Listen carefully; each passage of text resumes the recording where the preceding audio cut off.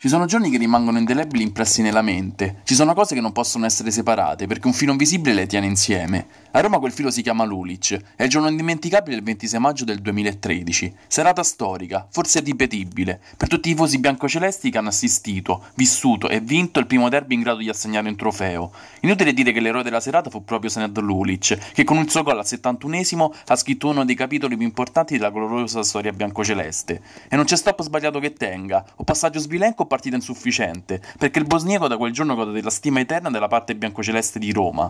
Etichette che non si tolgono, che rimangono per una vita intera, di padre in figlio, sicuramente anche di più. Senad da quel giorno sarà ricordato per generazioni, il suo gol è raccontato come si fa oggi con quello di Fiorini, oppure quello di Sala, Sovvieri, istantanee da leggenda scolpite nella storia. Eppure lui c'è anche presente, dal 2011 è un punto fermo della Lazio, terzino a tutta fascia, esterno, all'occasione anche a mezzala. Senad sa fare tutto, ed anche per questo gli allenatori che si sono avvicendati sulla panchina biancoceleste lo hanno sempre messo al centro del progetto, così come Inzaghi d'altronde, che lo ha scelto come capitano dopo l'addio di Biglia, investitura importante per uno dei leader dello spogliatoio. Sabato Senad avrà la fascia al braccio, anche nella partita che per lui conta di più. Lulic e il derby, un legame indissolubile, che vive anche nei prodotti della sua linea di abbigliamento. Lulic 71, un minuto che nella partita contro la Roma viene sempre ricordato con particolare affetto. E con ogni probabilità sarà così anche sabato, quando Senad, con la fascia al braccio, cercherà di essere di nuovo l'incubo della squadra giallorossa.